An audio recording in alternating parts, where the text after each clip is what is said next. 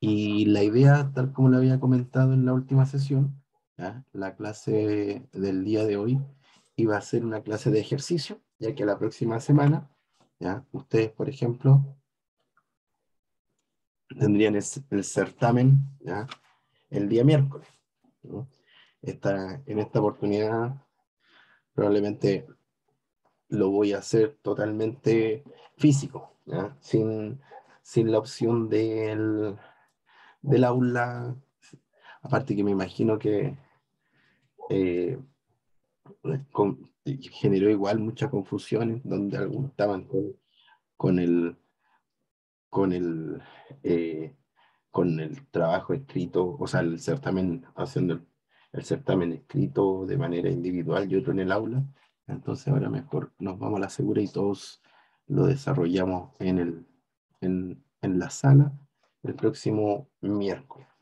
Entonces, como les comenté, hay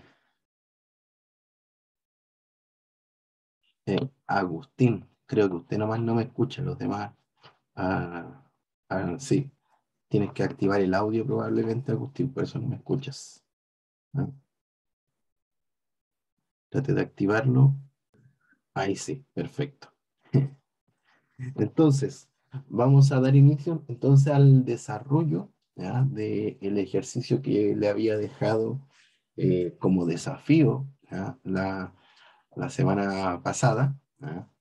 Eh, entonces voy a generar el trabajo en el Excel, porque en el Excel igual me va a permitir desarrollar algunas ecuaciones. Y aquí mismo en el Excel voy guardando algunos eh, datos, eh, algunas ecuaciones que, que los vamos a ir necesitando. Y aparte como puedo rayar. Entonces vamos a leer el ejercicio. Determine las fuerzas internas en todos los eslabones de la estructura, indicando si éstas se encuentran en tensión o compresión. La carga máxima que puede soportar la canastilla es de 2500 newton. Y el centro de gravedad se encuentra a una distancia horizontal de 750 eh, milímetros desde el nodo F. Todas las medidas están en milímetros. Entonces, eh, vamos a poner aquí algunos datos para considerarlos de inmediato esos datos y, y, no estarlos buscando reiteradamente. tenemos una, un W igual a 2500, un W igual a 2500 newton. Y, y, este, y este se encuentra una distancia, distancia desde F a distancia de F de 750 milímetros. 700, 750 milímetros.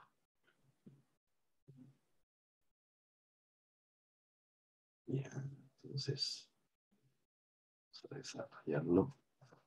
Tal como les dije en clase, cuando ustedes desarrollen este tipo de ejercicio, eh, traten siempre de estar analizando los nodos, los nodos que tengan menos, menos incógnita.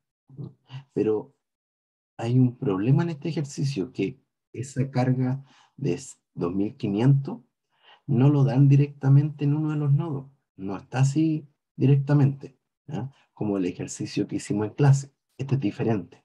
Este me entregan el dato de esa carga, el dato de esa carga en la canastilla. E, ese canasto tiene los 2500.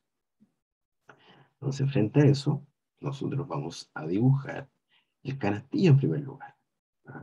Ese va a ser nuestro ya, diagrama de cuerpo libre, que sería este canastillo. Entonces, este canastillo, dos segundos que está pidiendo ingresar. Este canastillo, en la siguiente forma, y justamente tiene un peso de 2500 newton. Ahora, el tema principal acá, que hay que tener el cuidado, es que ese 2500 no está en la mitad del canastillo. Si estuviese en la mitad del canastillo, como siempre yo le he dicho, usted puede decir, entonces, el soporte izquierdo y el soporte derecho tienen el mismo valor. Si es que estuviese la carga en la mitad de ambos soportes, pero no es el caso. Está más inclinado hacia el soporte H. Entonces acá nosotros tenemos dos reacciones, una reacción H y una reacción F. Entonces este va a ser R, F. E, el R está asociado a la reacción que entrega ese pasador que se encuentra en el punto F, y F, obviamente dado por el nombre del nodo. Y acá tengo RH. Tenemos eh, tenemos entonces dos reacciones. Lo otro que sabemos, un tema importante acá, es la distancia. 750 milímetros desde el punto F, del nodo F, hacia donde está el punto G, que es donde está el centro de gravedad de ese canastillo. Y por lo mismo, y con esa información, nosotros ya podemos desarrollar una, una sumatoria de momento. ¿Cuál sería la finalidad de esa sumatoria de momento? La finalidad de esa sumatoria de momento es encontrar entonces la reacción RH y RF. ¿Y por qué la necesito? Porque encontrando estas reacciones voy a poder ingresar recién a analizar la estructura. Sumatoria de momento en el punto F, claramente voy a desarrollar el momento si alguno de ustedes desarrolla el momento en el punto H, no hay problema. Pero normalmente nosotros vamos haciendo el barrido de izquierda a derecha. Por lo mismo mantengo eso. Entonces, si yo hiciera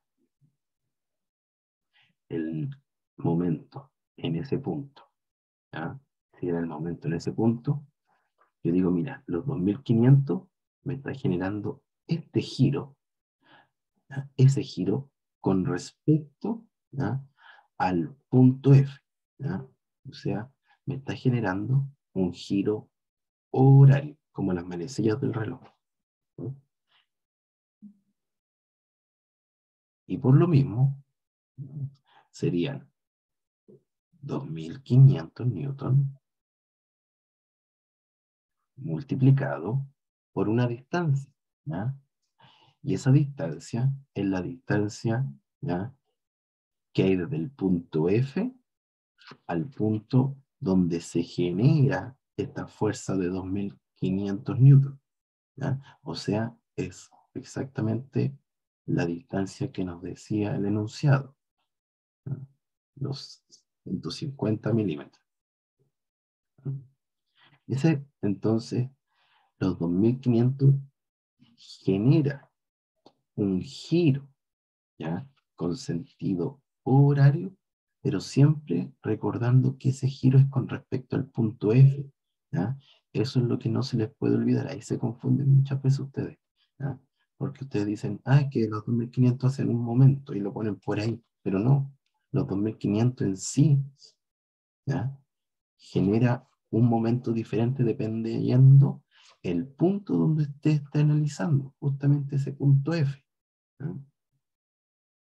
Si yo analizo el punto H, si yo analizara el punto H, eh, y hiciera el momento en el punto H, el momento sería con este sentido,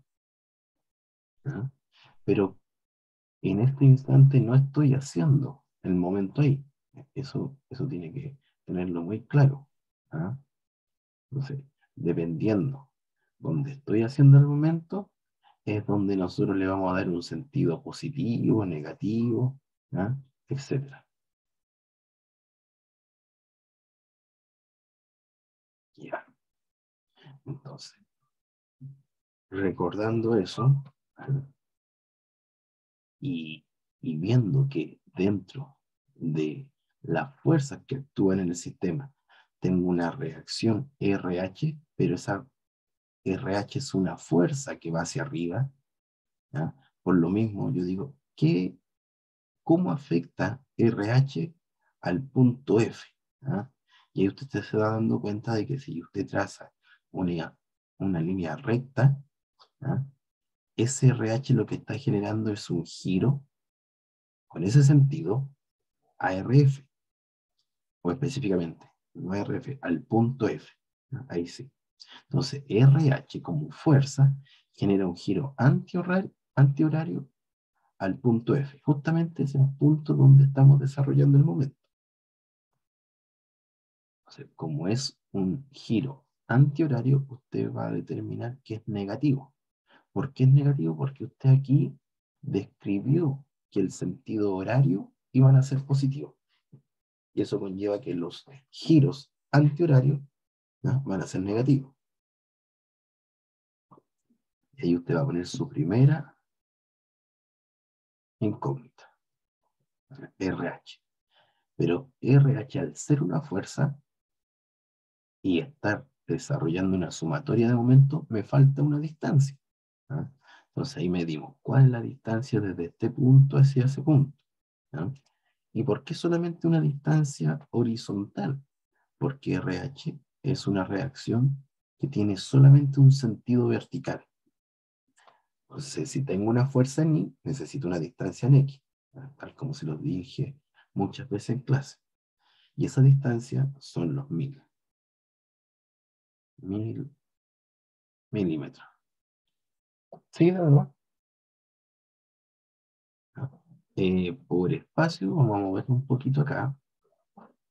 Y voy a tratar de ponerla acá para poner igual. Está pasando lo mismo que en, clase que quedó sin pizarra. Aquí está. Igual a cero. Recordando que estoy buscando el equilibrio.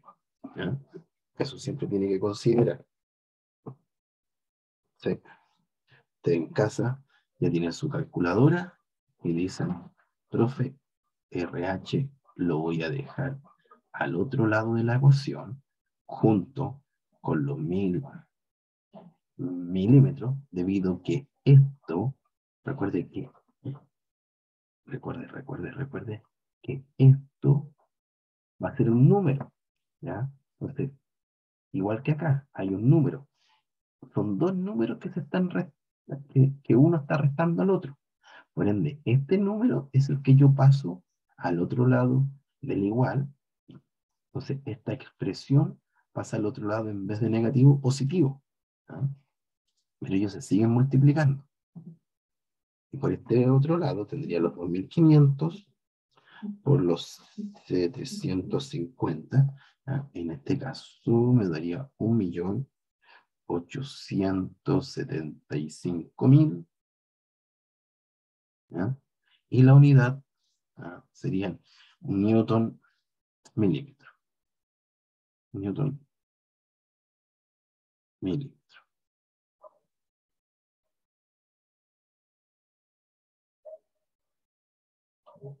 Por consiguiente, si quiero despejar RH, ¿ah?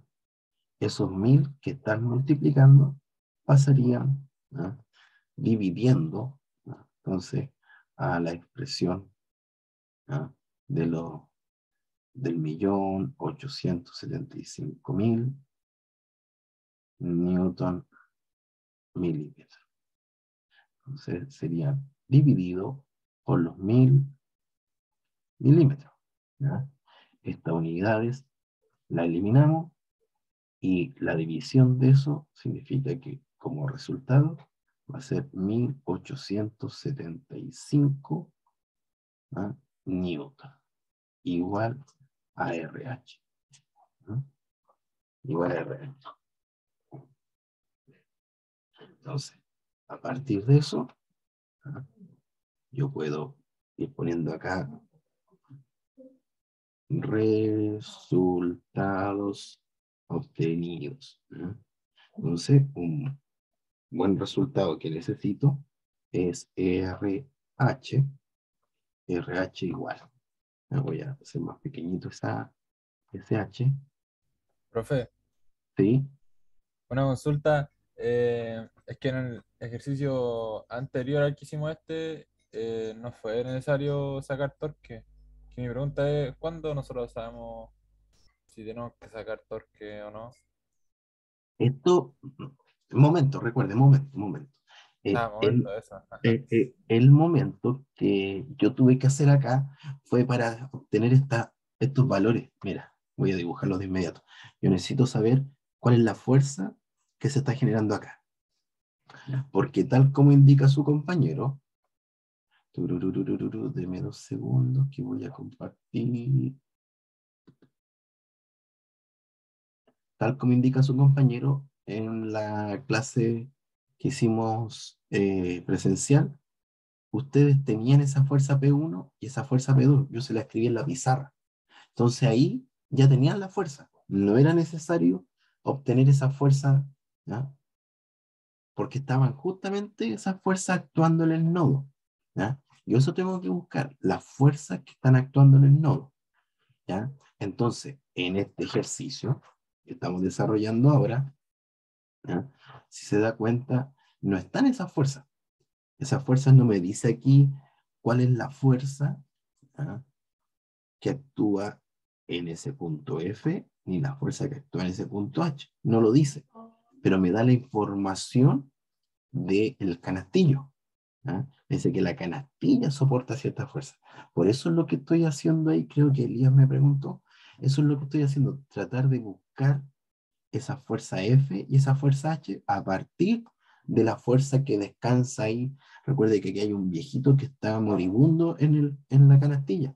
Por ende, a partir de eso digo ya, ¿qué fuerzas tiene F y qué fuerzas tiene H? Solamente por eso lo desarrollé así. Vale, gracias de nada. Volvamos al Excel. Eh, Excel, Excel eh, como aquí esto era 1850, si mal no recuerdo.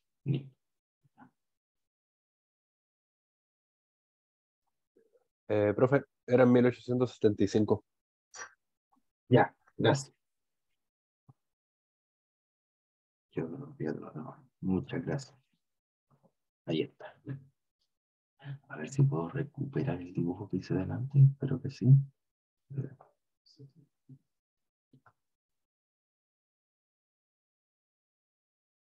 No, no lo puedo recuperar. Entonces, voy a tener que hacer nuevamente el dibujito ese que teníamos delante. Ahí, ahí, ahí. Acá teníamos una fuerza.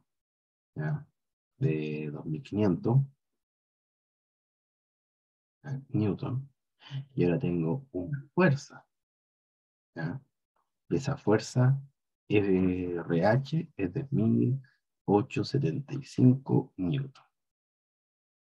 Y me queda solamente una incógnita RF y RF eh, es nuestra incógnita. Por lo mismo, lo que puedo decir yo, que RF es la fuerza que necesito para equilibrar este sistema. En este momento, las fuerzas que van hacia abajo son mayores que las que van hacia arriba. Por ende, RF tiene que ir hacia arriba en apoyo a este 1875. Entonces, si yo hago una sumatoria de fuerzas en I igual a cero, puedo decir R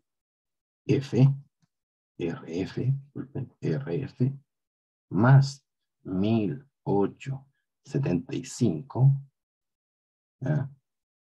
Los 1875, obviamente, como van hacia arriba, los dejo positivos, menos los 2500, igual a cero. 2500 negativo porque van hacia abajo.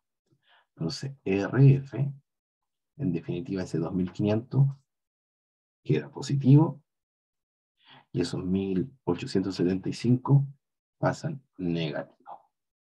Entonces, lo que tengo ahí es la resta de 2500 menos 1875. Por ende, RF son los 625 newton. Y en definitiva, eso es la fuerza que necesitaba el sistema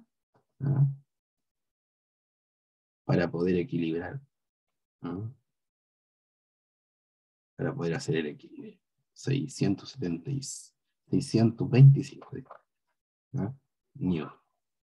Entonces, si usted sumara estos dos, por ejemplo, suma y suma estos dos, el resultado tendría que ser 2500. ¿Por qué 2500? Porque la carga de ese canastillo. Solamente por eso. Tienen que ser iguales. Entonces, ahora ya con esa información, nosotros nos vamos a poder ir a la estructura. Entonces, por ejemplo, si yo hiciera acá, voy a borrar esto. Borro el canastillo, mire, estoy borrando el canastillo. El canastillo ya no existe. Porque ahora usted se va a concentrar en la estructura. Y al borrar el canastillo, usted dirá, profe, ¿y, ¿y esa fuerza? La fuerza que tenía el canastillo, la voy a dejar acá. Ahí y acá. Una más grande que otra, claramente, porque una me dio 1875 newton y la otra me dio 625 newton. Es una pregunta. ¿Sí? Eh, en este caso, eh, ya vamos a ver si eh, está en tensión o en compresión. ¿Esa No. fuerza? Todavía ¿O no. no? Ah, eh, Porque solamente estamos en este instante, muy buena pregunta, Mijael, en este instante lo único que tenemos son las fuerzas externas a su estructura. Esta es como P1 y P2. Ah, gracias. Ahora, por ejemplo, Profe, tenemos que ver A y B para ver la tensión, ¿cierto? A y B. No, por ejemplo, mire, eh, no, ahora vamos a hacer el análisis nodal. ¿ya? Vamos a, a desarrollar entonces, vamos a escribir aquí a continuación, continuación, desarrollamos el análisis, análisis nodal. El primero que vamos a hacer, el DCL, nodo, siempre le he dicho, váyanse por el nodo que tiene menos incógnita, H. Profe, ¿cómo el nodo H? Sí, porque si ustedes hacen el nodo H, ustedes lo primero que van a hacer va a ser una partícula, una partícula, que eso va a representar su nodo, que el nodo, recuerden, es el elemento, ¿ya? Donde llegan las fuerzas o salen las fuerzas. Pues aquí voy a tener, eh, voy a dibujarlo de otro color, más, más fluorescente. Aquí está nuestro eslabón EH.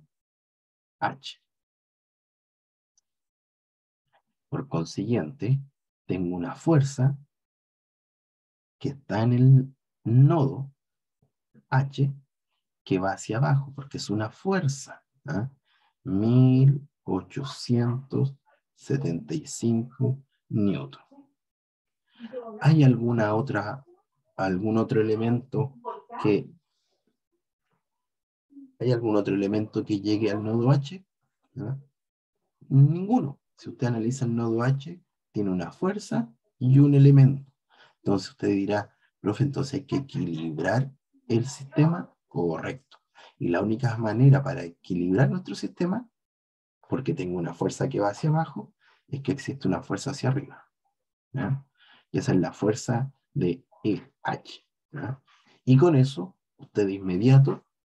Va a poder decir, eh, espéreme, eh, aquí vamos a poner eh, relaciones internas. Aquí vamos a ir declarando los resultados. Por ejemplo, EH igual. Aquí uno podría hacer una sumatoria de, de fuerza en I, ¿ya? pero solamente al verlo, usted ya sabe que EH es 1875. Sumatoria de fuerzas en I igual a cero, tiene EH que va hacia arriba, ¿ah? menos 1875 newton que van hacia abajo. Por ende, el resultado de EH, 1875. Y el otro, si se da cuenta, el eslabón EH, su vector, lo dibujamos saliendo, saliendo de la partícula, saliendo del nodo. Eso significa entonces que está sometido a una tensión. ¿Por qué? Porque si el elemento llega, si el vector llega al nodo, decíamos que estaba en compresión, pero como sale, de- podemos decir que está en tensión. Entonces aquí, eh, acá para dejarlo ordenadito, 1875 newton está sometido a tensión. Tensión. Es nuestro primer elemento. ¿Ok? A continuación,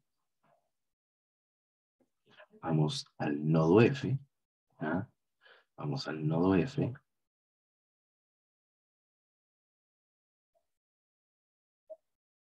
Vamos al nodo F. Primero voy a borrar algo acá. Esto también lo voy a eliminar. Va a quedar grabado en el video. Así que ahí usted va a poder verificar después lo que fuimos haciendo. Borramos esto. Y nos vamos al nodo F. Eso es lo bueno también de haber dejado acá que está en tensión, porque cuando tengamos que trabajar en el nodo E, por ejemplo, vamos a decir, oye, pero si aquí está en tensión, ah, entonces si me voy al nodo E, ese va a salir ese eslabón EH. Porque se tiene que mantener todo el sistema equilibrado. Nodo F. El nodo F. Vamos ahí. Tenemos una tensión que va hacia abajo. Esa tensión, esa fuerza externa, es de 625 newton. Newton. Y tenemos un eslabón FD y un eslabón FE. Entonces tengo un eslabón FD y tengo un eslabón FE. Recuerde que el orden de las letras no influye en nada, así que no se preocupe de aquello.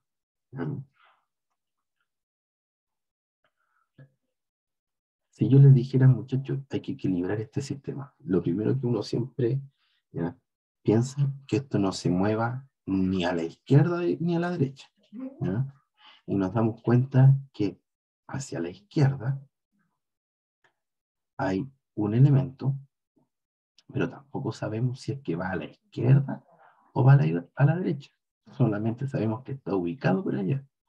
Pero no hay ninguna otra fuerza que se pueda contraponer a esa.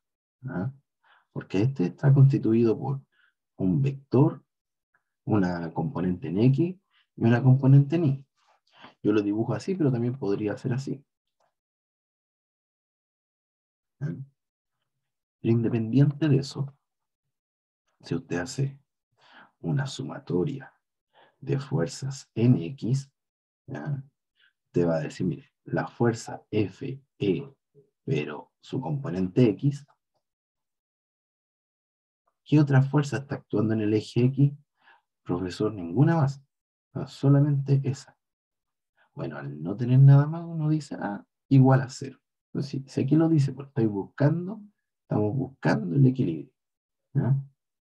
Y obviamente, al no tener una fuerza que se contraponga a FE, podemos decir de inmediato, entonces nuestra reacción del eh, eslabón FE ¿no? Es igual a cero.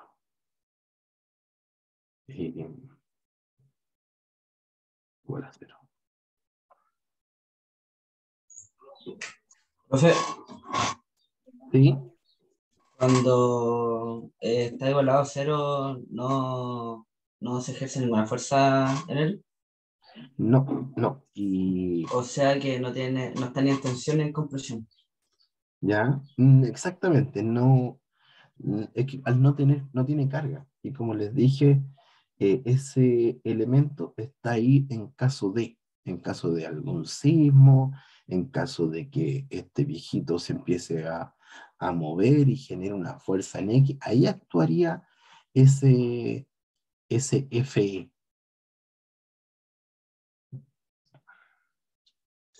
Vale, profe.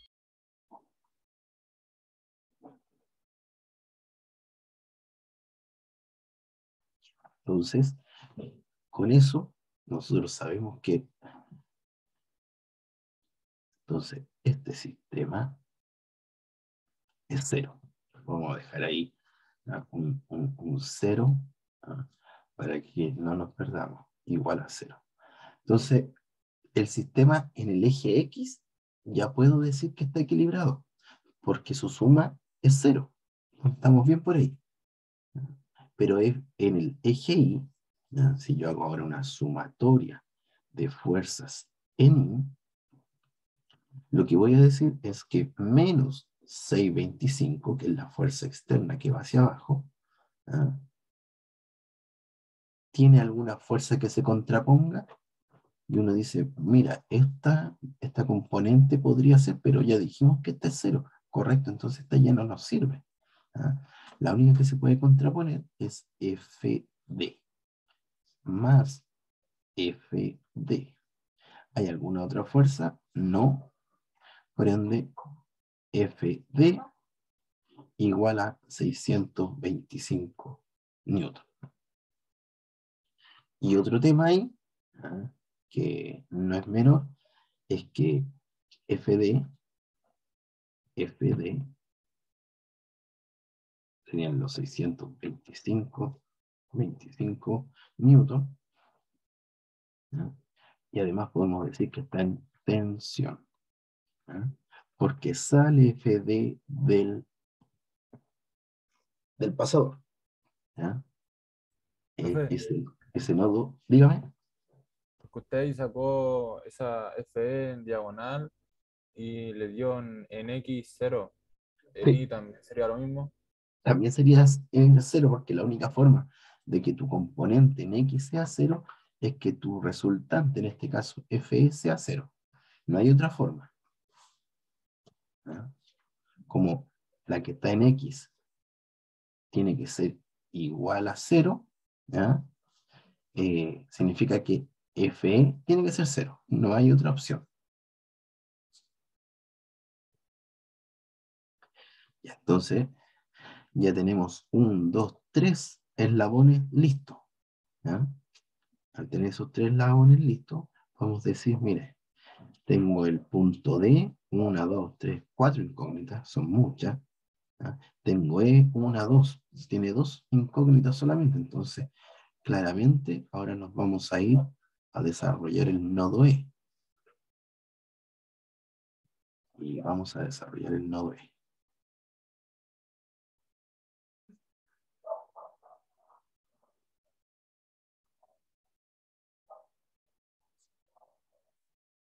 nodo E. El nodo E lo dibujamos entonces de esta manera. Tiene tres eslabones. Un eslabón vertical, que sería el nodo, el eslabón, disculpe, el eslabón HE, que ojo, ya calculamos HE, está aquí, era 1875 y estaba en tensión. Como está en tensión, lo que podemos decir de inmediato es que al estar en tensión sale del diagrama cuerpo libre, o sea, sale del nodo. Por eso lo dibujo saliendo del nodo, solamente por esa razón. Saliendo del nodo. También tengo el nodo, disculpe, también tengo el eslabón de E.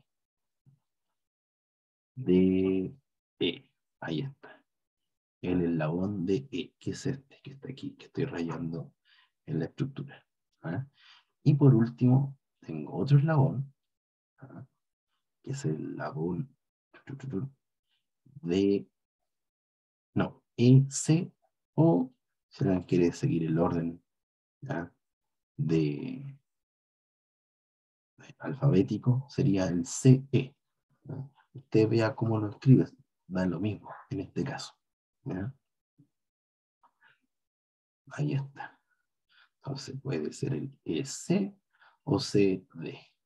O C. Profe, ¿Sí? como FE da cero, ¿es necesario dibujarlo? ¿Cuál? ¿Cómo, cómo, cómo? FE, FE. No. la diagonal. Ah, ya te entiendo, exactamente. Como da cero, no lo dibujen, por- porque les podría traer más confusión. Lo eliminan de inmediato, mucho más sencillo, así no, no, se, no se enreda en algún momento. Vale, profe. Entonces, lo que vamos a hacer acá, que esto deberían hacerlo siempre, cada vez que tienen un, un eslabón, ¿ya? Que esté con un ángulo, ¿ah?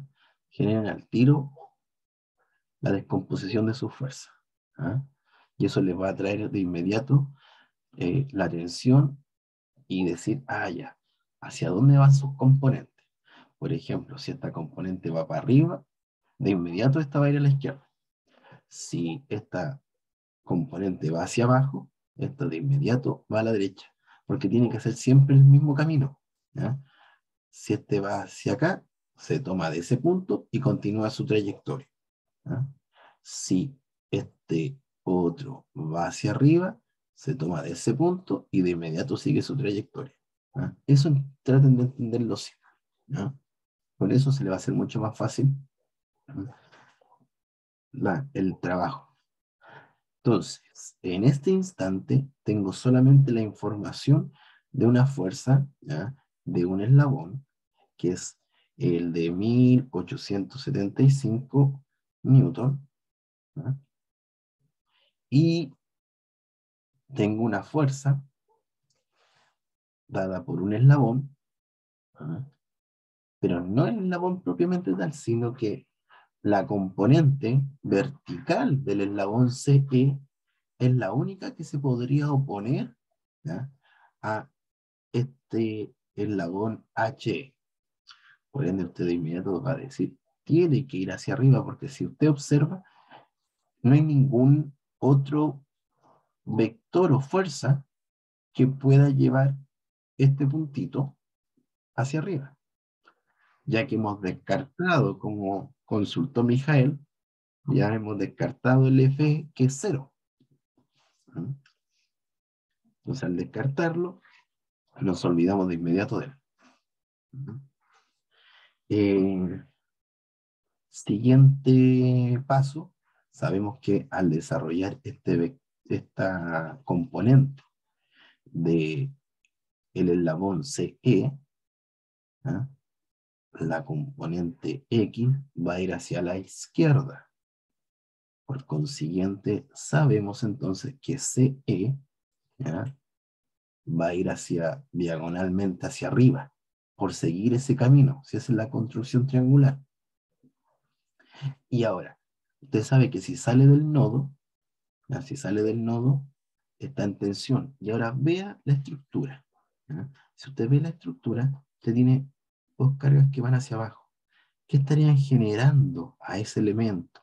Y a ese elemento una tensión, lo están estirando, lo están llevando hacia abajo, están moviendo ese punto. Eso también les sirve para estar analizando desde antes cuáles son los, las, fuerzas y las condiciones internas que le debería dar en cada eslabón. En este caso, tensión o compresión. Para el caso CE, compresión. Eh, si se fija, si se fija, usted en este instante tiene una componente, ¿ah? una componente de CE que va hacia la izquierda. ¿ah? Y la única manera de poder equilibrar ahora esta partícula es que DE vaya hacia la derecha porque así bloquea y equilibra este mismo eh, eh, eh, esta misma componente de CE, la componente X, que lleva la partícula hacia la izquierda, con DE usted la lleva a la derecha y ahí los mantiene equilibrados.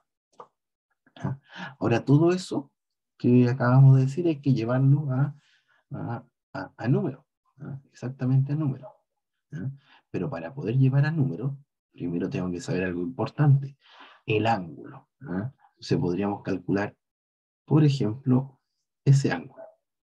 Ese ángulo. Entonces ahí lo que usted tiene es un triángulo. Y justamente un triángulo rectángulo. Y se aprecia ahí. Entonces, por ejemplo, yo voy a calcular ese ángulo. Le voy a llamar el ángulo eh, alfa. Ángulo alfa. Ahí teníamos el ángulo, el ángulo 90 grados. Teníamos un lado de 500. Teníamos un lado de 500 milímetros. Y tenía un lado de 1100. ¿Ah? Ahí está. Sería la tangente menos 1. Podría ser, como indica ahí, yo calculo. Primero la tangente. La tangente va a ser el lado opuesto, 500, ¿ah? Dividido por el cateto adyacente, o sea, el cateto opuesto dividido por el cateto adyacente. Así sería 1100. Y como quiero despejar alfa, multiplico ahí por tangente a la menos 1, quedaría tangente a la menos 1 de 500 dividido por 1100. Y de esa manera encuentro el ángulo alfa. Entonces... Profe, me dio 24,44. Perfecto. Sería, déjeme ver si nos da lo mismo. 500 dividido por 1100. Así es, a mí también me está dando ese mismo valor, que lo voy a dejar acá escrito ángulo, que es que vamos a usar, va a ser 24,45. Sería en grados porque recuerde, usar la calculadora ¿ah? en degree. Ya. Seguimos entonces. Ah, y ojo, que ese ángulo, alfa, ese ángulo también se va a repetir aquí, se va a repetir aquí, se repite aquí, se repite aquí. ¿ah?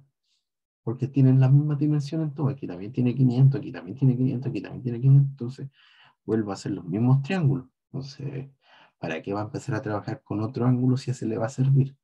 Y así no tiene que estar calculando más ángulos para nada. Aunque tampoco es tan difícil calcular un, ángulo de un triángulo, pero ya tiene uno y con ese puede hacer el trabajo completo. ¿ah? Entonces aquí vamos a dejar el ángulo alfa. ¿ah?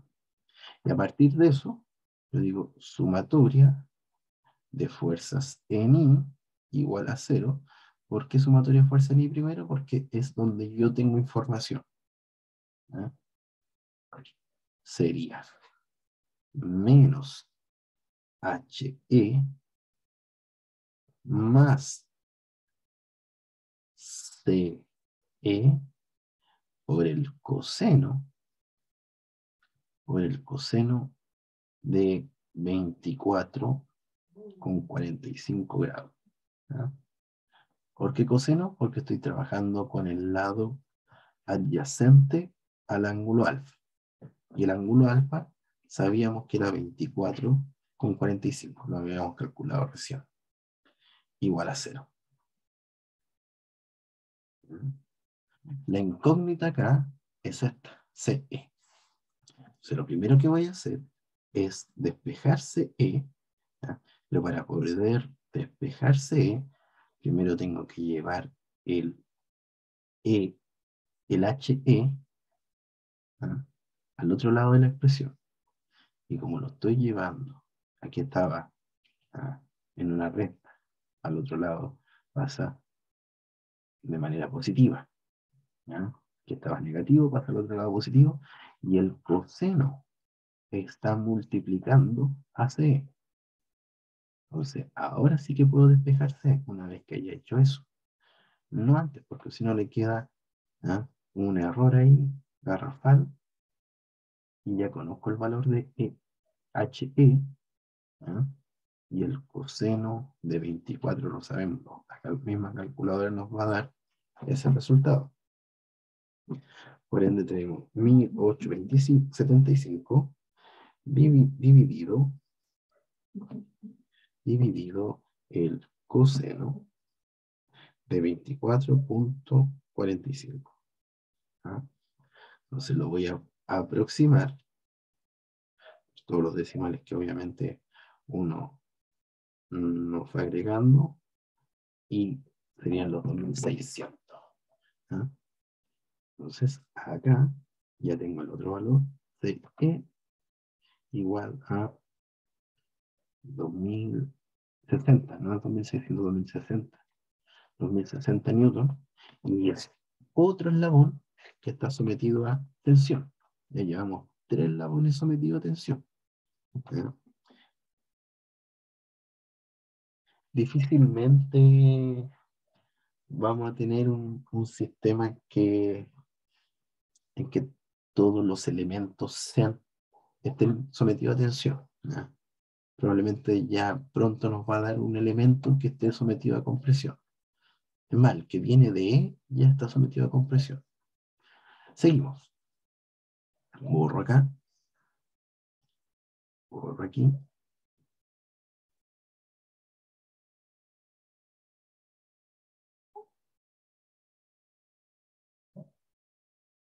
Y anoté el valor de CE. Y ahora seguimos con la otra sumatoria, la sumatoria en el eje X. ¿Qué tendríamos?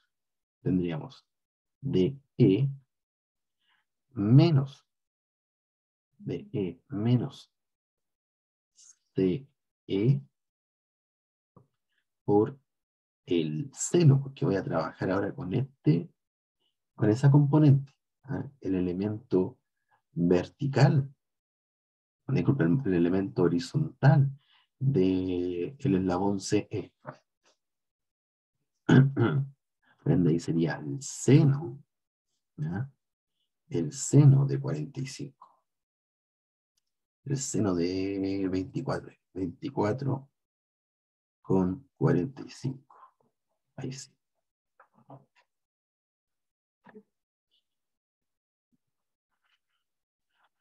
Que justamente el seno es el lado opuesto de este triángulo. ¿ah? Justamente se da en el eje X. No hay más fuerza actuando para nada. No hay más fuerzas actuando en este nodo. Por ende, el valor de DE quedaría de la siguiente manera. DE igual a 2060 por el seno de 24 con 45 grados. Ahora, toda esta expresión, toda esa expresión que estaba restando a DE, como está negativo, toda esa expresión la pasé al otro lado de la expresión como positiva. Pero recordando que yo ya tengo el valor de ese E. Serían los 2000, 2060. 852,6, profe. A ver. 852,6. Sí. De E es igual a 852,6. Ese está en compresión, ¿o no?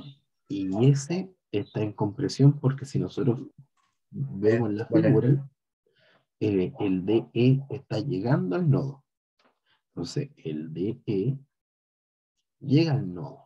Sería 852,6 newton. Y ahora sí está en compresión. Por la razón que hemos comentado anteriormente, ya el nodo de E llega al eslabón, ¿ya? Llega, disculpe, llega al nodo, eh, este el nodo E. ¿ya? Entonces esa partícula está recibiendo la fuerza de DE. Como está recibiendo la fuerza, decimos que está en compresión.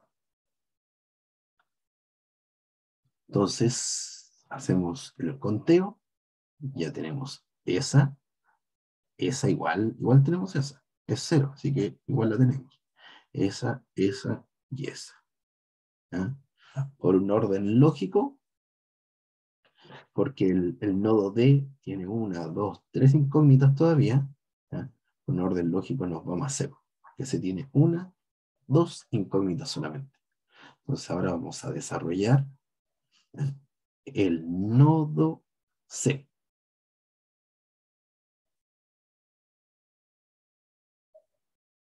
Contemplando siempre que ya tenemos varios de nuestros eh, eslabones ya claro.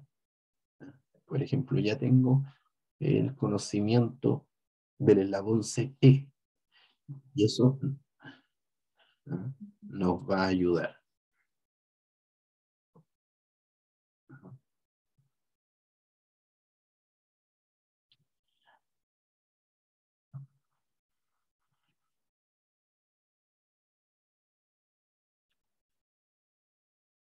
Tengo el nodo C y el nodo C tiene un eslabón BC que es horizontal, que justamente es este que junta el nodo B con el nodo C. Ese sería nuestro eslabón BC. ¿ah? Tenemos el eslabón CD. CD. Si lo buscan acá, el nodo CD no está. Tampoco está el BC. Así que incógnita. Y el, el labón CE, ¿no?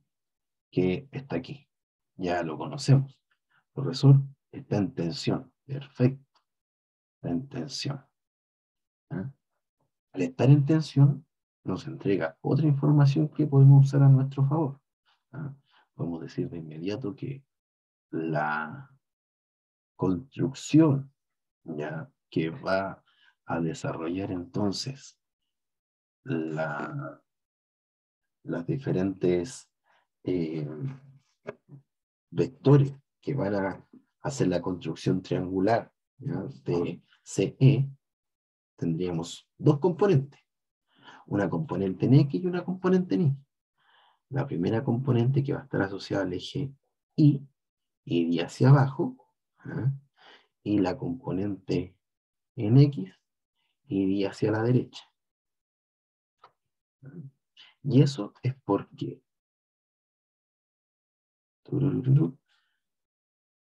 si se da cuenta, así actuarían estos dos vectores, ambos saliendo del nodo.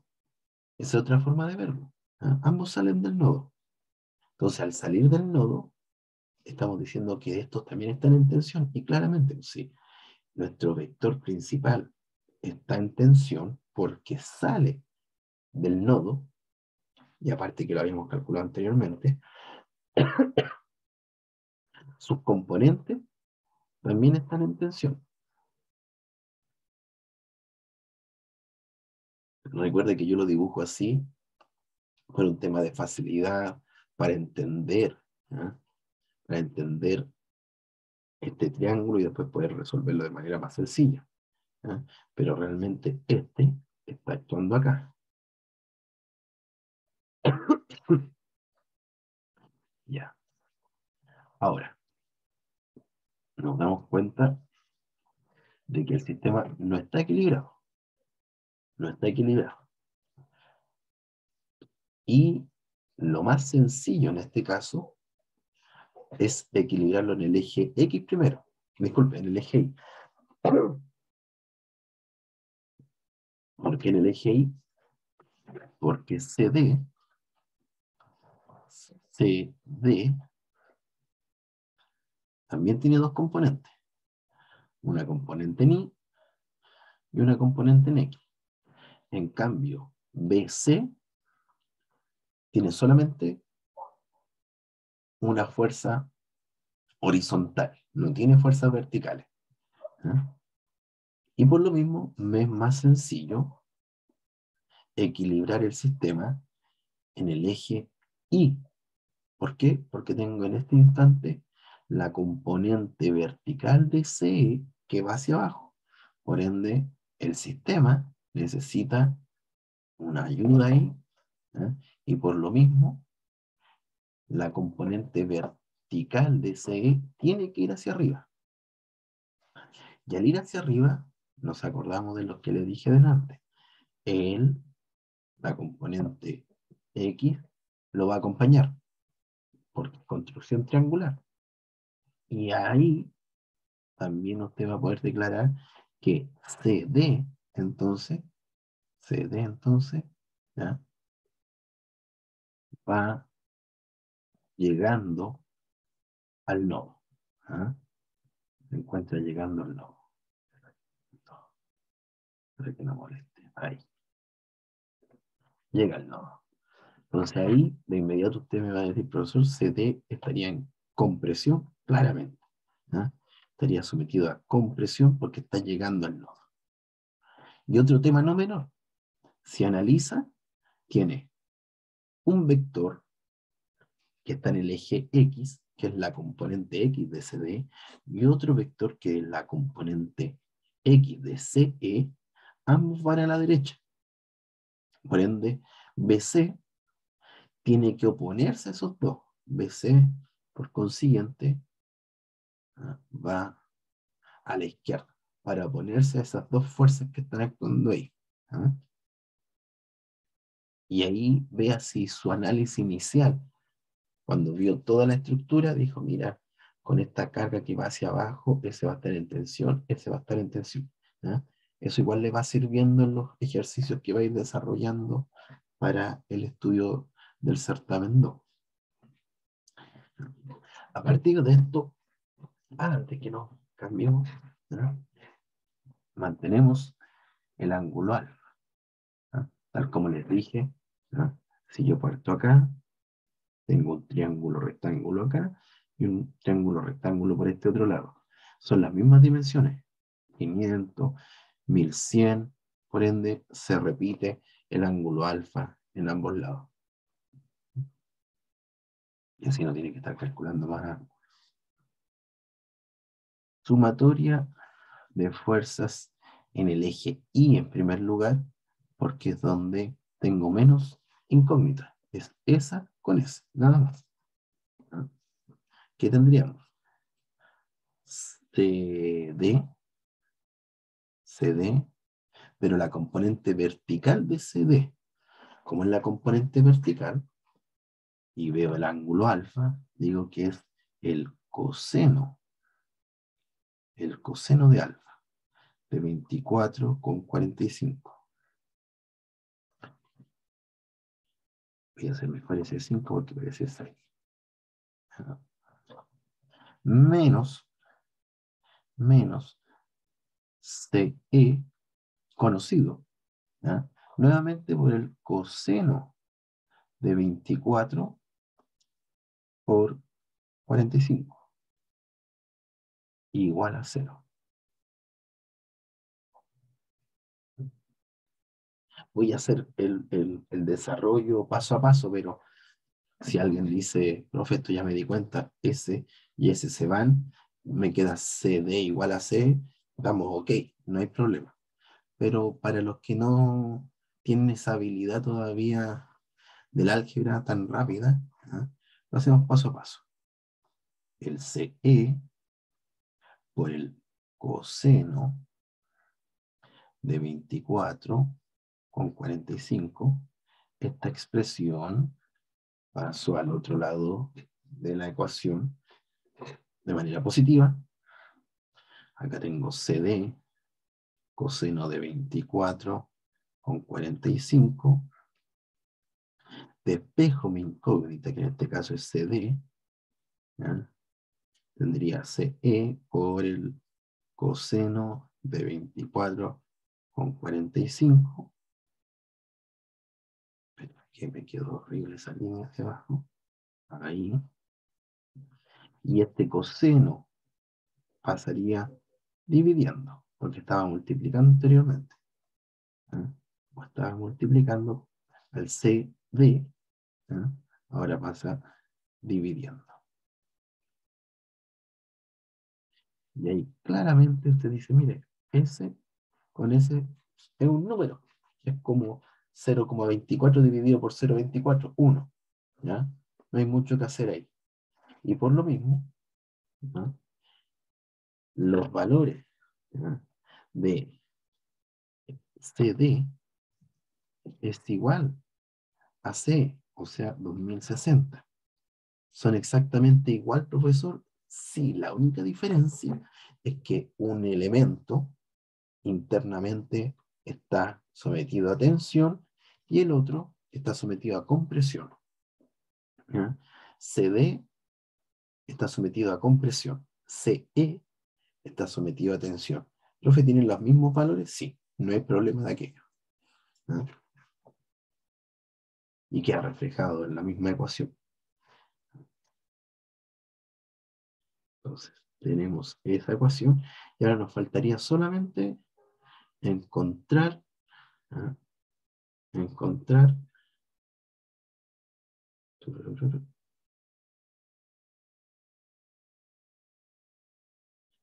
sumatoria de fuerza NX para encontrar el valor de BC. Entonces sería menos BC más CD por el seno de 24 con 45. ¿Por qué seno? Porque estoy trabajando con el lado opuesto al ángulo alfa.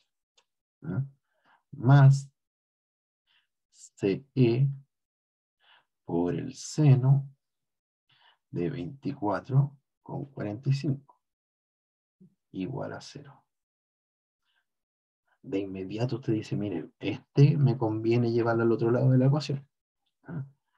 Porque así llevo un elemento que estaba negativo, queda positivo. Por acá tengo CD, conocido, 2060, por el seno de 24 con 45, más CE. El, el CE 2060 por el seno de 24 con 45. ¿Qué tendríamos? 260 por el seno de 24.45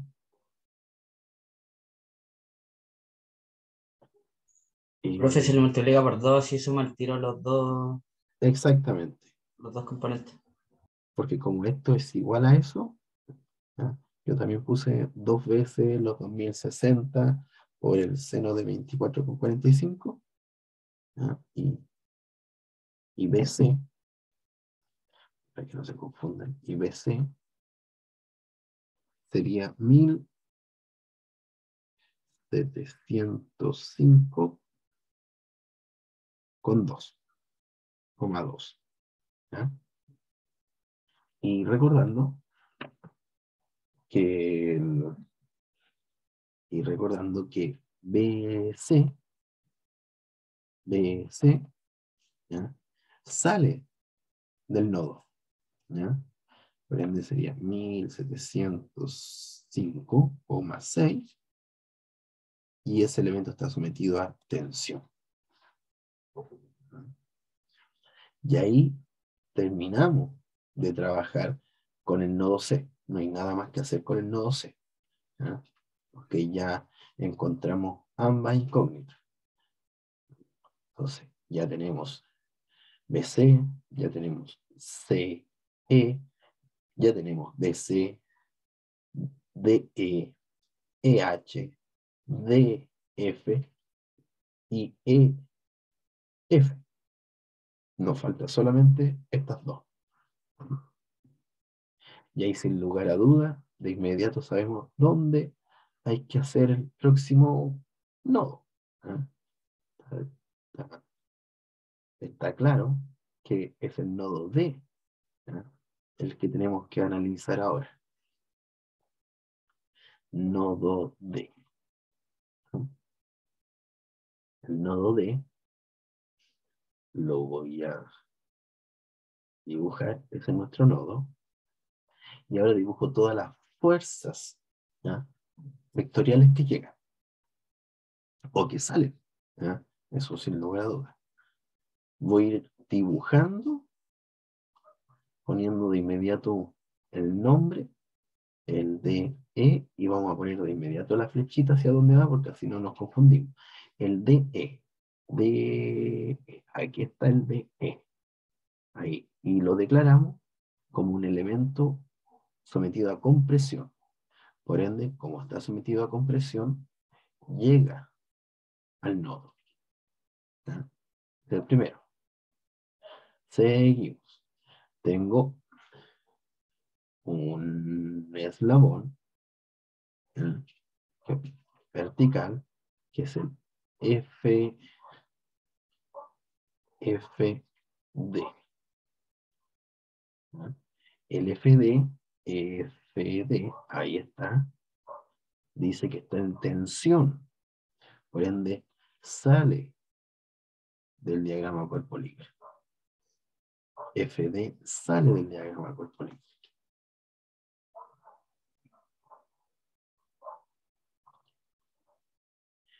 Seguimos con los conocidos. Acá tengo otro conocido, que sería el eslabón D o CD para seguir el orden alfabético. El CD. CD. Ahí está CD. Me dice que está sometido a compresión. O sea, llega al eslabón. ¿Mm? Porque está en compresión. CD, compresión. Y ya que tengo eso, ¿ya? para no, no perdernos, usted dice, ah, voy a dibujar al tiro sus componentes. Porque eso igual nos sirve. Porque, por ejemplo, ¿por qué sirve esto? Porque ya nos damos cuenta que tengo dos fuerzas, dos fuerzas, ¿En compresión? sí, y dos fuerzas que van a la izquierda más encima, en el, G, en el eje X. Y otra cosa también, nos damos cuenta que dos fuerzas están yendo hacia abajo en el eje Y. Entonces ya nos damos cuenta que nuestros próximos, lo, lo voy a dibujar aquí con un color verde, ese elemento, que sería nuestro eslabón B, D,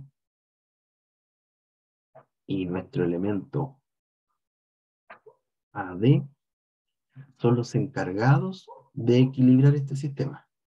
Porque entre ellos ya no se equilibran. Si no piense que no están estos dos últimos que dibujé, ¿ya? vamos a decir que no están, esta partícula está totalmente desequilibrada, porque se está yendo hacia abajo y porque se está yendo a la izquierda.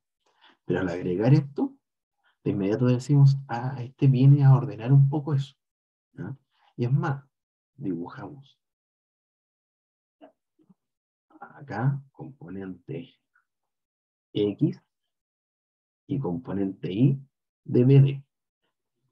Miren, nin- no hay ninguna otra opción en todos nuestros dibujitos que podamos decir que hay alguna componente o alguna fuerza que se pueda oponer a estas dos cargas que van hacia abajo. La única fuerza que se puede descomponer sería esa. ¿Por qué? Esa va hacia abajo, esa va hacia abajo. AD no tiene componentes en el eje Y, tiene solamente en el eje X. Por ende, BD, su componente Y, tiene que ir hacia arriba.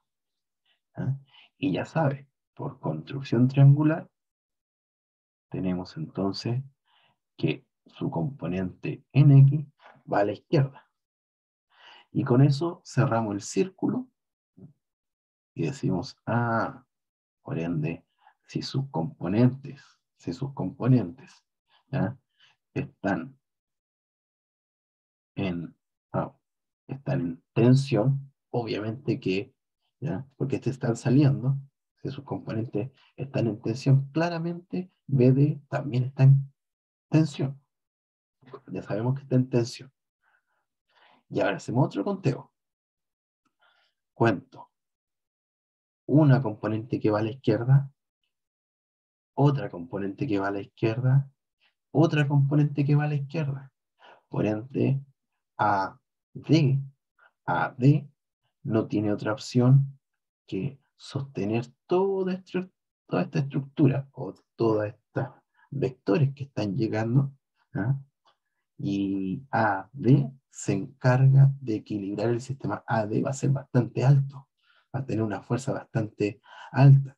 Y es obvio porque mira, aquí si te vas a la estructura, si se van a la estructura, analizan la estructura, AD está resistiendo estas dos cargas, 625 y 1800, ambas de alguna manera están generando esto. ¿ya? Y al generar eso, toda esta carga lo está resistiendo este elemento. ¿ya? Entonces, AD es un elemento que está soportando mucho, mucha, mucha carga. Veamos, ¿cuánto es en primer lugar?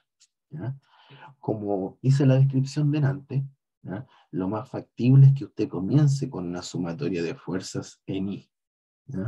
Tal como usted diseñó la idea para saber si este iban hacia arriba, hacia abajo. Usted dijo, primero voy a equilibrar este sistema en el eje Y. Entonces, la sumatoria va a ir por ahí mismo. Tengo BD, que es ese elemento. Tengo el ángulo alfa. Tengo el ángulo alfa. ¿Por qué, profe? Porque aquí usted tiene este triangulito ahí, ahí, acá, y obviamente ese ángulo alfa se repite, se repite nuevamente, por lo mismo, puedo declarar entonces BD por el coseno, por el coseno, porque voy a trabajar con el lado adyacente, por el coseno de 24 con 45. ¿ah?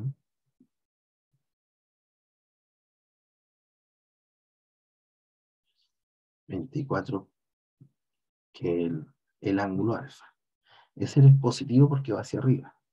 Menos FD, ya que está aquí FD hacia abajo. Menos. Menos CD por, profe, recuerde que aquí está el ángulo alfa. No acá, ahí no está. Por si acaso, no se vaya a confundir. El ángulo alfa está ahí donde lo acabo de dibujar. ¿Por qué? Porque recuerde que aquí usted tiene el triángulo. ¿ah? el ángulo 90, el ángulo alfa. Que mantuve el mismo que hicimos delante. ¿ah? Y ahí, como estoy trabajando con ese lado, que sería el lado adyacente al ángulo alfa, tendríamos el coseno de 24,45 grados igual a cero. Menos. En este caso, BD es nuestra incógnita. Coseno de 24 con 45 grados. Igual.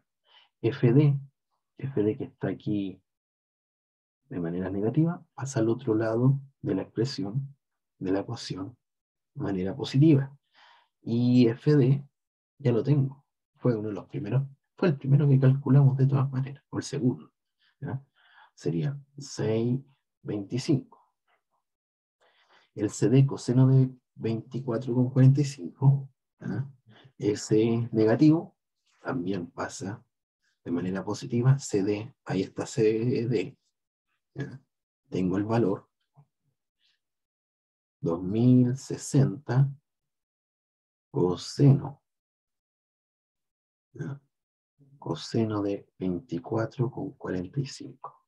En primer lugar, lo que vamos a hacer va a ser 625 más 2060 por el coseno de 24.45. 2500, más o menos. Perfecto. 2000, 1500 con 26. Y por este lado tendría BD. El BD estaba acompañado del... Bueno, lo voy a seguir acompañando. BD por el coseno de 24 con 45. Entonces, para hacer sería 2500 con 26 dividido el coseno de 24 con 45. ¿Por qué dividido? Porque aquí el coseno de 24 está multiplicando. Entonces, ahí dividimos, pasa dividiendo el coseno de 24 por 45. El resultado es 2746,5 newton. Entonces, me voy acá, que sería nuestro penúltimo resultado de ah, es igual a 2746 5 y ya se empieza a dar cuenta usted que estamos trabajando con los, con los eh, valores más altos que hemos tenido hasta el instante. ¿ah? Y BD está sometido a tensión. ¿Por qué tensión? Porque sale del nodo, sale del diagrama de cuerpo libre de ese nodo. Ahora nos faltaría, borramos esto, borramos esto.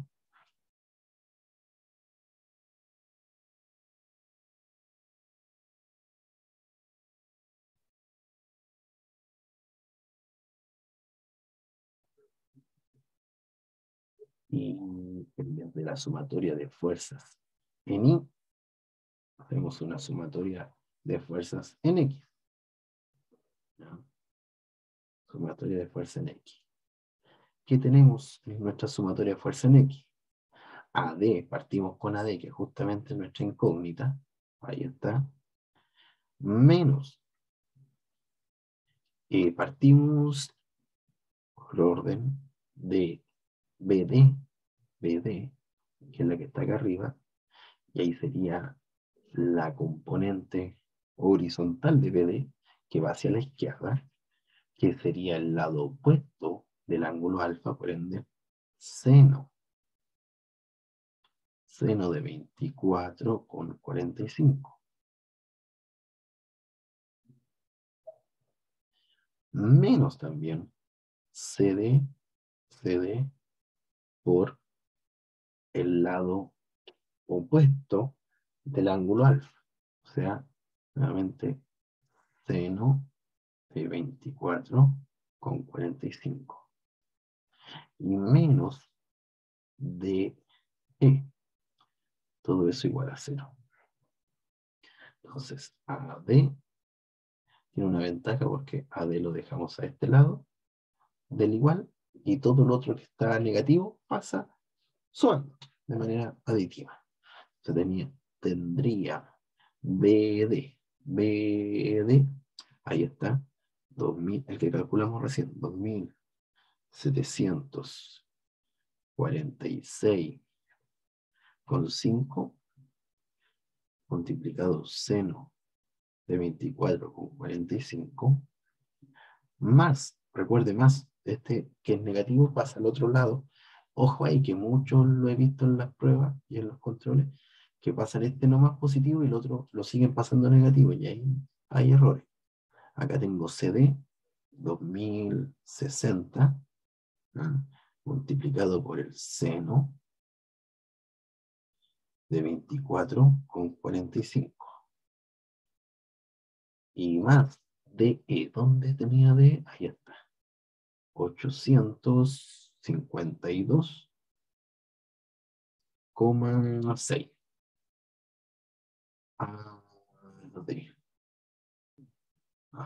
Igual.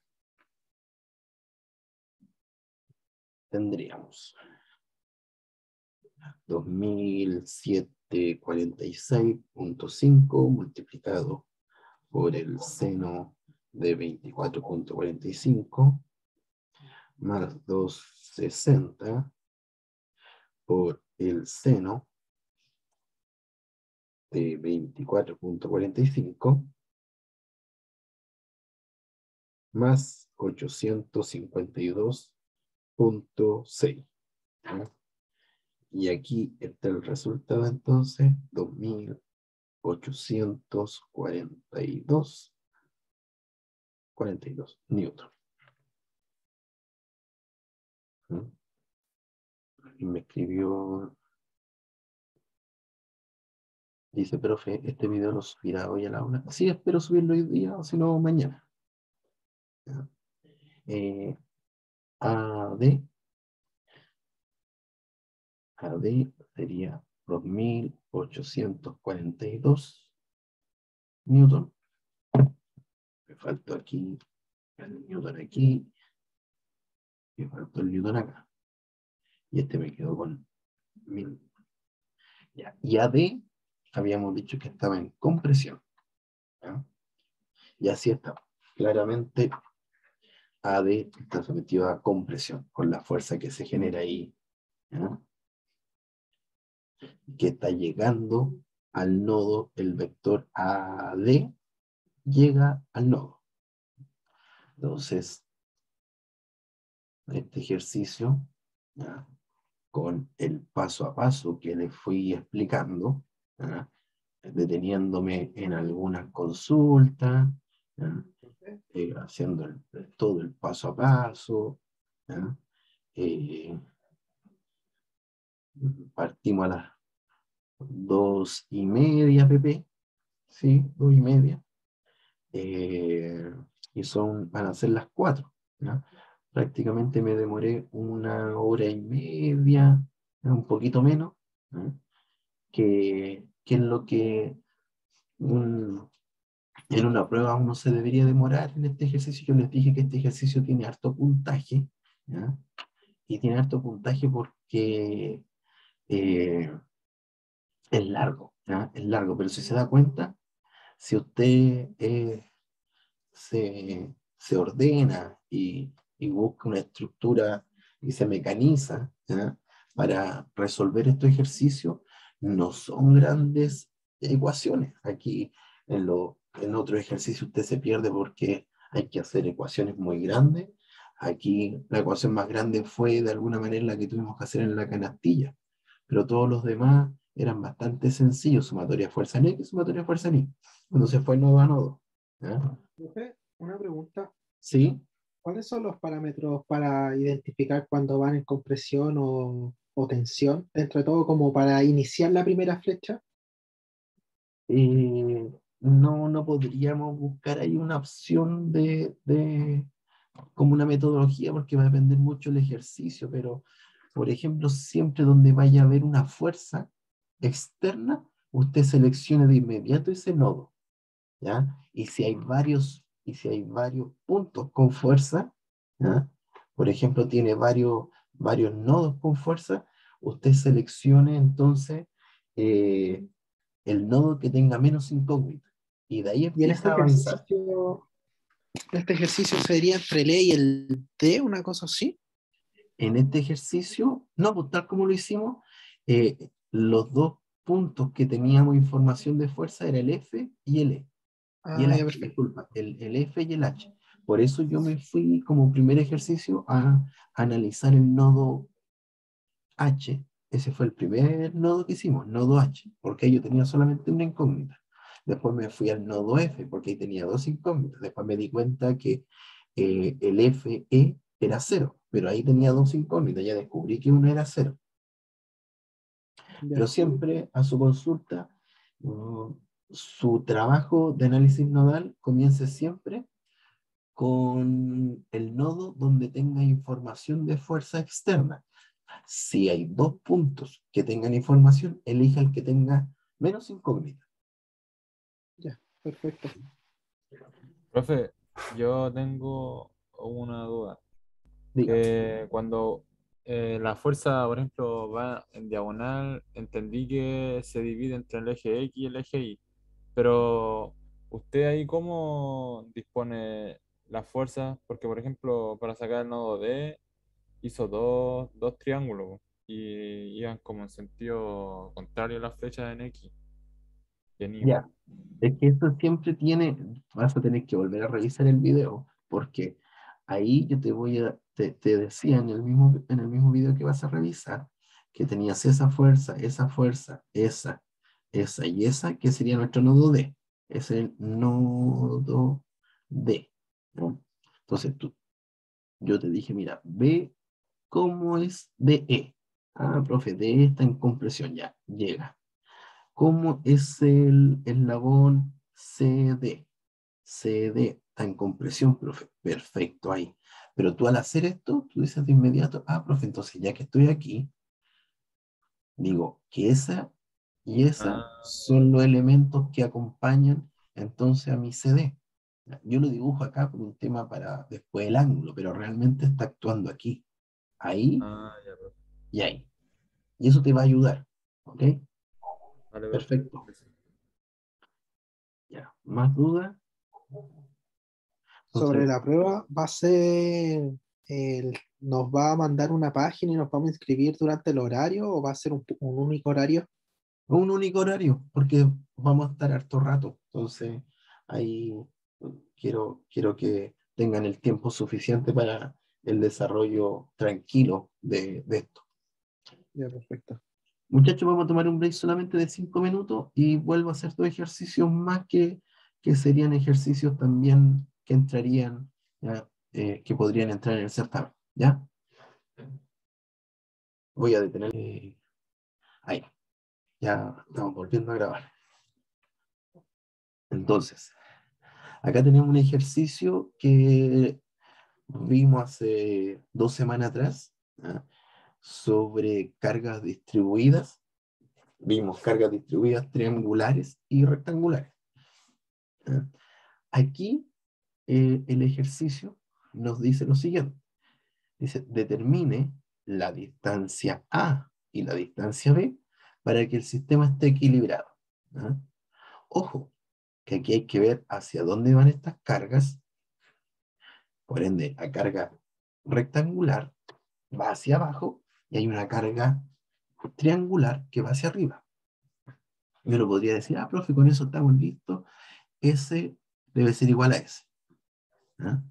Y ahí de inmediato roten- rotundo no.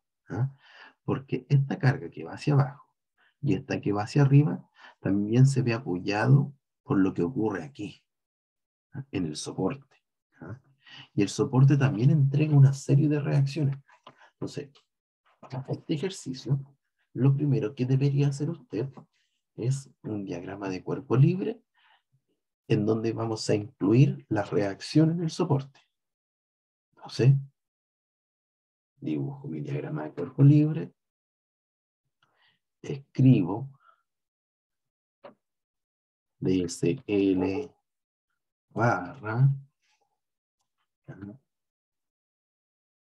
y genero las diferentes cargas. Eh, voy a hacer un cambio. Normalmente uno pone las fuerzas en rojo. ¿ya?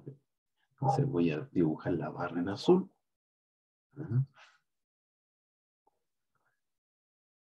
Y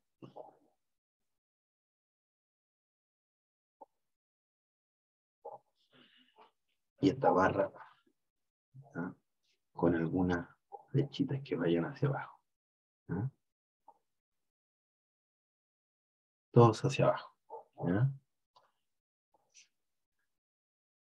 Ahora recuerden que yo voy a hacer desaparecer después todas esas flechitas y me voy a quedar solamente con una. Y la vamos a ubicar en cierto lugar.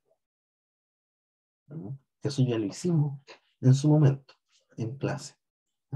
Y por acá tenemos un triángulo.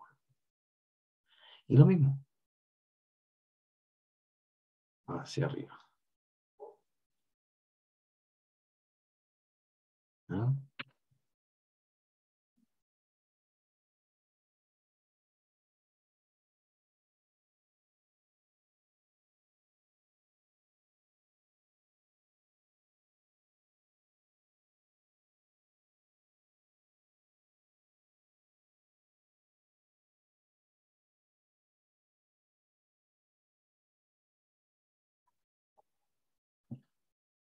Por consiguiente,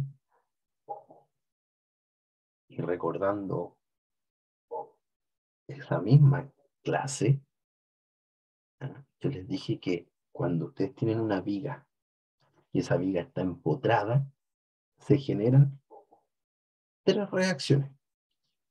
Esto significa una reacción en el eje X, porque si yo quiero sacar esta viga hacia la izquierda o derecha, me lo van a impedir pero de alguna manera alguien me podría decir, profe, si yo pongo acá, entonces un R, voy a llamarlo R A mayúscula, para diferenciarlo de esa en X, como no hay fuerzas actuando en el eje X, RA sub X sería de inmediato cero. Entonces ahí vea usted, tal como lo que ocurrió en el ejercicio de los nodos. Si es cero, vea si lo pone o no. Yo en este caso, para, que, ahorrarnos complicaciones, prefiero no dejarlo. siguiendo esta lógica, yo podría tomar la viga y llevarla hacia arriba o hacia abajo, lo mismo. Imposible. Por ende, dejo una R A sub I, que podría ir hacia arriba, pero ojo, también podría ir hacia abajo. Yo lo voy a dibujar hacia arriba, pero cuando desarrolle las ecuaciones voy a ver si va hacia arriba o iba hacia abajo. Y finalmente, como este sistema en ese soporte no se genera, no hay un pasador, es que significa que también me va a imposibilitar de generar un giro. Entonces, como aquí esto no puede generar ese giro, es que nosotros hablamos de que aquí va a haber una reacción. Una reacción y la llamábamos la reacción de momento. MA. Un MA justamente en ese punto del soporte. Que es una reacción. Ahora hay que saber cuánto, cuál es el valor de esa reacción, que todavía no lo sabemos. Lo que sí sabemos que este tiene una base, tiene una altura conocida, 75 libras pie. Por acá tiene 35 libras pie como la máxima y con una base de 8 pies. ¿ya? De 8 pies. Y también se puede reconocer que desde el punto A a donde comienza, el punto A hasta donde comienza, la carga triangular son 12 pies. Y también nuestra. Ahí de alguna manera están todas nuestros, ¿ya? están todas nuestras incógnitas, de alguna manera.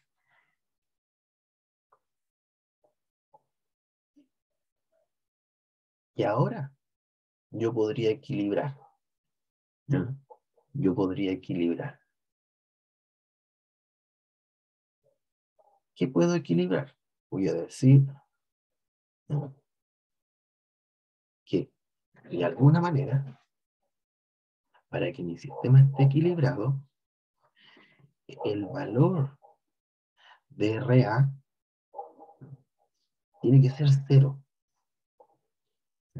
Si el valor de RA es cero, significa que las fuerzas que van hacia abajo y que van hacia arriba son iguales.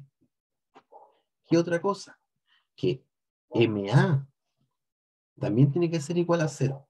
Significa que la carga distribuida tri- rectangular que está arriba me genera un giro horario, es la misma, tiene la misma magnitud que esa carga distribuida triangular que está abajo, pero que lleva este elemento hacia arriba, generando un giro.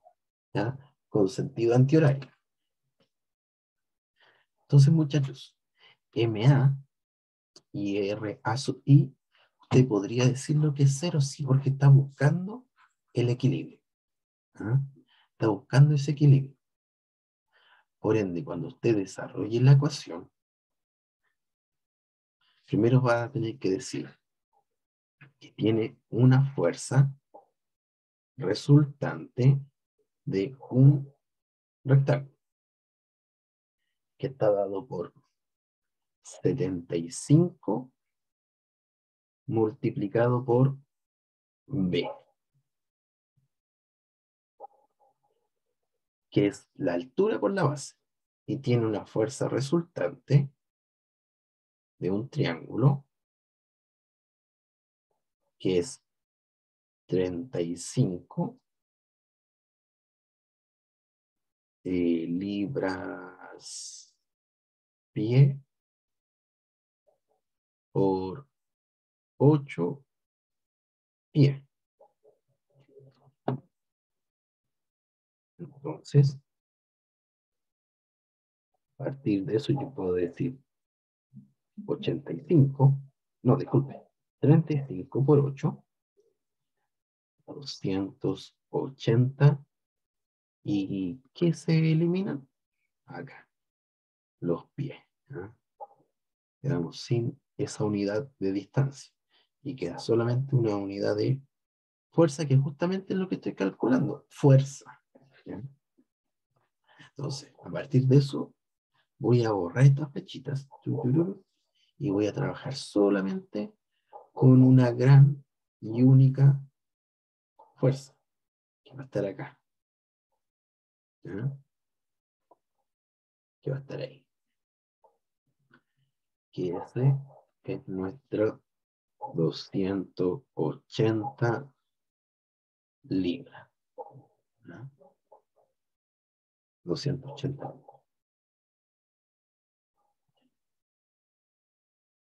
Ahora también borro eso. Eso la voy a dejar ahí. ¿Con qué fin? Porque necesito ahora encontrar la distancia desde aquí acá. Esa distancia. Y esto lo hicimos en clase, dijimos, mire, el centro de gravedad ¿ya? de un triángulo es dos tercios de la base si lo veo de la zona más baja, o un tercio de la base si lo veo de la zona alta. ¿Ah? Entonces aquí, obviamente, nos vamos a ir por el lado de la parte alta. ¿ah? Sería un tercio de la base, y la base son esos ocho pies. ¿ah? Ahí estaría. Pero recuerde, si yo voy a hacer un momento, si yo voy a hacer un momento, voy a considerar la distancia desde el punto A. Por ende, debería sumar esos ocho pies más el un tercio de los ocho pies. No nos olvidemos de aquello. Y por este otro lado, me voy a olvidar de todos estos y el resultado que estoy buscando ahí es un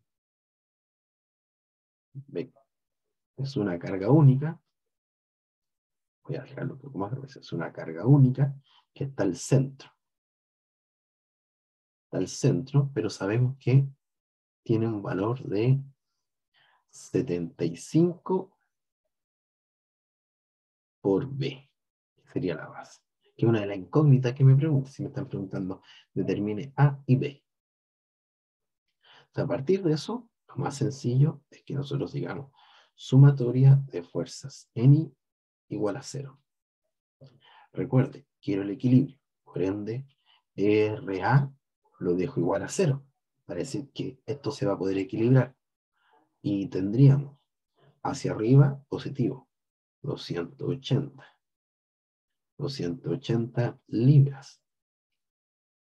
Menos 75 por Profesor, B. ¿Sí? Que no la fuerza resultante del triángulo se dividía en dos. Muchas gracias. Se, nos había, se me había pasado ese detalle. Se agradece ahí. El rectángulo, Del triángulo. Del triángulo. Acá. Tal como indica su compañero. ¿ah? Serían eh, la, el área. El área de un triángulo en la base por la altura dividido 2. Entonces tendríamos los 35 multiplicado por 8 y todo eso dividido 2. ¿ya? O sea, el resultado no eran los 280. ¿ya? El resultado eran los 140. Muy bien ahí por estar atento. 140 libras. Pero no, nos hubiese dado un resultado muy, muy diferente. ¿no? 140 libras por 75B igual a 0. ¿no? Entonces, este 75 por B pasa al otro lado de la expresión. Y acá mantenemos los 140 libras. Despejamos ahora B y quedaría 140 libras dividido por 75. Y 75 tiene la unidad de libras-pie. Recuerde, libras no la había puesto anteriormente porque era llevar mucha información. ¿ah? Pero eso significa que esa unidad de libra se elimina y, esta, y este pie se va hacia arriba. Por ende, está bien porque justamente el resultado de B tiene que dar en una unidad de distancia, en este caso de pie. Y serían los 140 dividido 75. ¿no? 1,866. ¿no? Bien. Entonces, voy a copiar ese resultado en alguna parte para que no se me olvide. Lo vamos a dar aquí. Eh, B igual B igual a 1.866 6, 6 periódicos, ¿ya? Eh. Sí. Y aquí ya tenemos la respuesta de una. Lo dejamos ahí en amarillo. Y lo otro, borramos acá. Borramos acá. Porque ya tengo B. Ya tengo B. Entonces, al tener B, ya este 75 por B lo puedo eliminar. Y pondría 75. Lo voy a dejar acá para que lo, lo revise. Tendríamos 75 eh, libras por pie multiplicado por 1,8666 pie. ¿Ah? Y eliminamos obviamente eso, sería 140 75, profe. 140. ¿Ah? Entonces acá quedarían los 140 libras. Libras. Libra.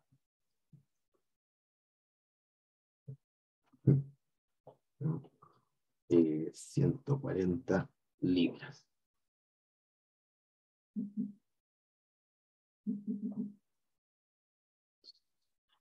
Y ahora tengo que encontrar el valor de A.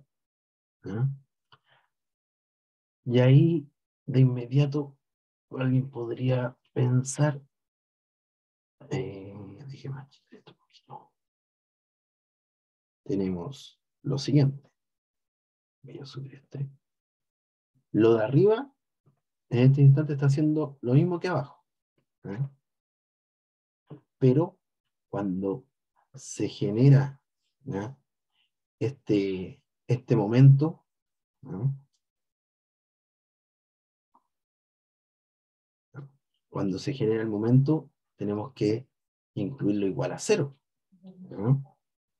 Hay que incluir igual a cero. Entonces hay que ver si el valor de A necesariamente va, vamos a tener un, un valor acorde al ejercicio, porque muchas veces, y eso tenemos que tenerlo claro, en algún ejercicio, usted tiene que responder que la,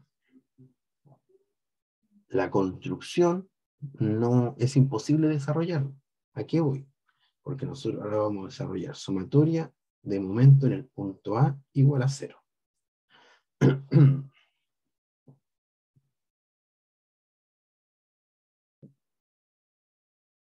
¿Qué tenemos entonces?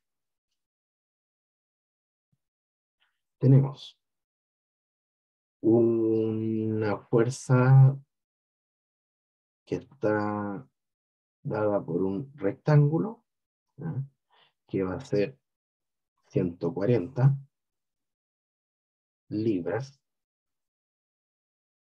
A esos 140 no hay que agregarle B, porque ya descubrimos el valor de esa fuerza eh, del mismo sistema, del, de ese rectángulo. Ese rectángulo, ¿ya? sabemos. Que, que tiene ¿ya? 140 libras, porque multiplicamos 75 por B, y B ya lo habíamos calculado. Pero ese 140 lo tenemos que multiplicar por la distancia. Recuerde que MA también nosotros vamos a decir que es cero. ¿Por qué? Porque estamos indicando que está en equilibrio. Entonces tengo 140 que me genera un giro horario, como las manecillas del reloj. Pero ¿cuál es la distancia? La distancia es A. Pero es A solamente A. de partido 2. Exactamente, no es solamente A, es A más B dividido 2. ¿Por qué dividido 2? Porque está justamente en la mitad. Yo aquí tengo la base, es B, pero aquí voy a tener B medio y por el otro lado voy a tener B medio. Entonces justamente está en la mitad. ¿no? ¿Me dan, me dan dos segundos, porfa? Dos segundos, voy a detener un poquito la retomar. Entonces, tal como indicaba su, su compañero, la distancia que estoy viendo acá es la distancia que se genera desde el punto A a donde está esta fuerza. Y por eso hay que incluir el valor de A, que no lo sabemos, que es lo que estamos buscando, y la mitad del valor de B, que ya lo conocemos. Yo lo voy a dejar como B dividido por 2, pero alguien podría haber puesto ya 1,86666. ¿ah? No hay problema, ya es el mismo valor. Entonces, siguiendo con esto, tenemos que ver qué otra fuerza ¿ya? genera un giro. Y sería el de 140, pero del triángulo. Entonces sería menos 140. ¿eh? Aquí voy a poner un dibujito para que no se olviden. Este estaba asociado al rectángulo y este está asociado al triángulo. Sería 140 multiplicado por la distancia. ¿eh? Que sería los 12, las 12, los 12 pies, más ¿eh? el un tercio de la base, que era 8, ¿no? igual a 0. Entonces ahí nos vamos a dar cuenta que la única incógnita que tenemos en esta ecuación es A. Y resolvemos. Sería 140 por A más, eh, sería, sería 140, ay, 140 por 1.866 dividido 2. ¿ah? Eso me da 130,6. 662. ¿ah? Ese es el resultado de 140 por B dividido 2. Recordando que B es igual a 1,8666. Menos este lo calculo antes. Ese valor es 12 más 1, un tercio de 8.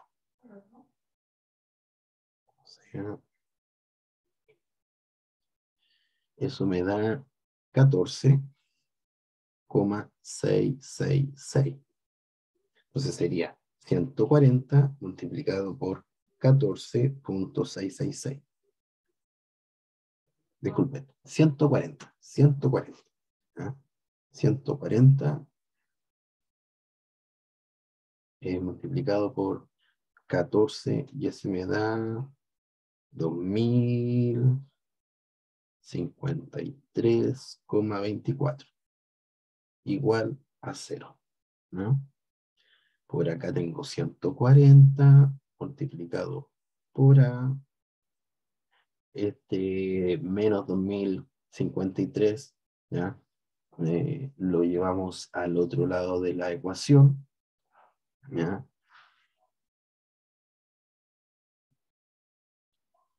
Moverlo un poquito. Ahí. Seguimos. Serían 2000, 2054.24 este valor de 130 pasa restando al otro lado, sería menos 130 por 6662, y esto me da 1922,57. Ahora despejo A, que va a ser 1922 por 57, todo eso dividido por 140, ¿ah? porque estoy despejando A, y como 140 estaba multiplicando A, igual dividido 140. ¿Ah? Ahí nos da 13, 13,73. ¿Ah? Entonces acá sería el valor de A igual 13.73 ¿ya? F, FT. Fit, yes. Entonces, ahí tenemos las respuestas para ambos casos. A, por ende, en, la realidad, para que esto estuviese equilibrado, muchachos, vamos a borrar aquí un poquito de cosas. Por ejemplo, aquí, aquí, aquí. Para que esto estuviese equilibrado, partiendo. Ese triángulo, ese rectángulo era más pequeño, ¿ah? porque la base era bastante pequeña, era una base de, de 1,888, es ese, ¿ah? pero además de ser pequeño, tendría que estar ubicado por acá. Eh, si aquí es 12, por aquí. Ahí. Y esa es la única forma de que nuestro sistema hubiese estado equilibrado. Este era un rectángulo más alto, ¿ya? Más alto que ancho. Porque el ancho, el B, nos dio bastante pequeño. Menos de 2. Y el triángulo abajo tenía 8. ¿ya? Pero sí, el triángulo que está abajo tiene una altura más pequeña, 35. O sea, no está escala, pero para que tengan esa consideración. Y A era obviamente mucho más largo. A se extiende para que esto estuviese equilibrado. Pero los resultados son estos, A y B. Y, y como último ejercicio, se lo, se lo voy a plantear acá, pero esto igual lo quiero dejar como un ejercicio de control de, de certamen online, de control online, ¿ah? y de esa manera eh, lo voy a dejar para que usted vea el resultado, pero le voy a dar una, la pauta aquí de desarrollo, para que usted diga, ah, ya sé cómo desarrollar esto.